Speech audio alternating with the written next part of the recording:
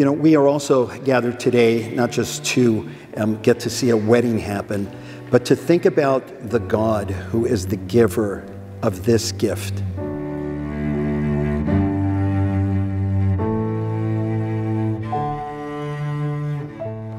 In the presence of God, I vow to love you forever. I vow to be faithful to you at all times.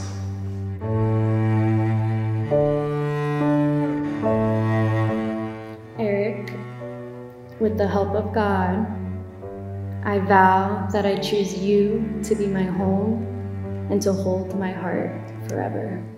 I vow to hold your heart and to love you endlessly.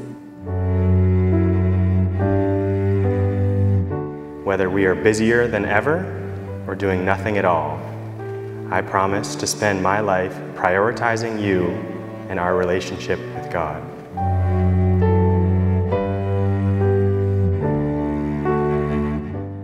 So, Brianna, Anita, yes, you are my daughter.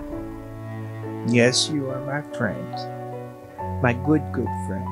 Yes, you are my champion. Yet, there's one other thing that you will forever be to me. You will always be Patty's little girl.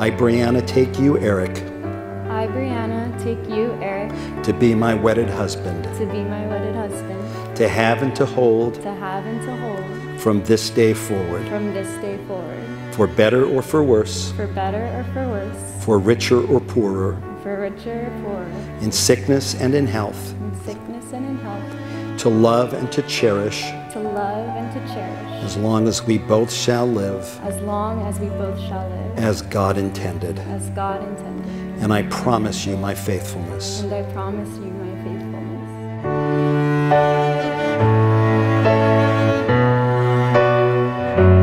Erik, I'm guessing this won't be the first time you've ever done this, but you know something?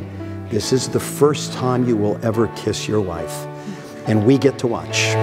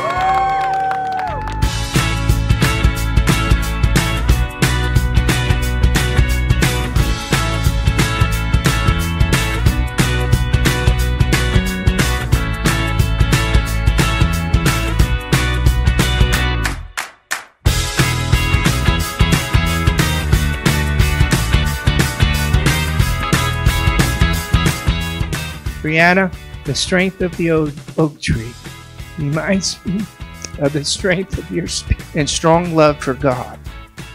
And the sound of its swaying leaves calls to mind the gentleness of your person. And the tree's gleaming radiance at day's end. Well, that's just majestic. Just as you are. So with uh, with all these grievances being said, um, I, I would like to welcome you, Bree, to the family. Um, I'm really excited to have a new sister-in-law. Um, con- congratulations for the two, two of you.